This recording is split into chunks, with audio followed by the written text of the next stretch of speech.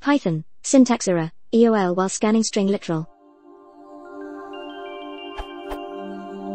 I have the above mentioned error in S1 equals some very long string dot dot dot dot dot dot dot dot dot dot dot dot. Does anyone know what I am doing wrong?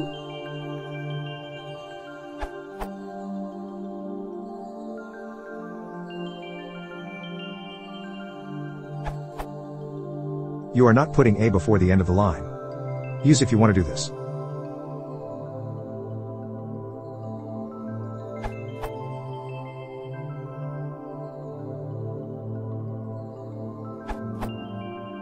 I had this problem, I eventually worked out that the reason was that I'd included characters in the string. If you have any of these, escape them with backslash and it should work fine.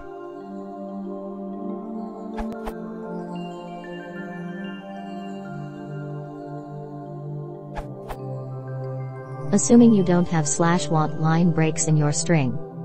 How long is this string really? I suspect there is a limit to how long a line read from a file or from the command line can be, and because the end of the line gets chopped off the parser sees something like s1 equals some very long string dot dot dot dot dot dot dot dot dot dot, without an ending, and thus throws a parsing error. You can split long lines up in multiple lines by escaping line breaks in your source like this.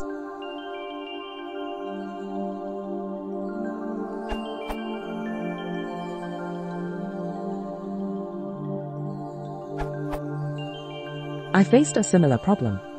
I had a string which contained path to a folder in Windows for example C column backslash users backslash the problem is that is an escape character and so in order to use it in strings you need to add one more backslash. Incorrect, C column backslash users backslash. Correct, C column backslash users backslash.